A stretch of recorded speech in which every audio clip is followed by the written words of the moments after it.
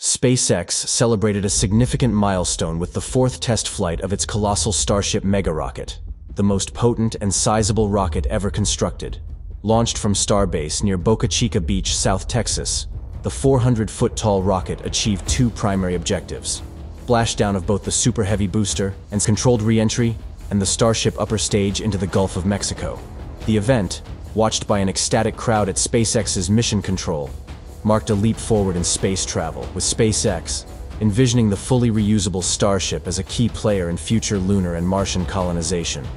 Notably, NASA has chosen Starship for the Artemis program, aiming to land astronauts on the moon by 2026. Each test flight, from the explosive debut to the latest successful descent, has incrementally advanced SpaceX's goal of making space more accessible and paving the way for interplanetary exploration.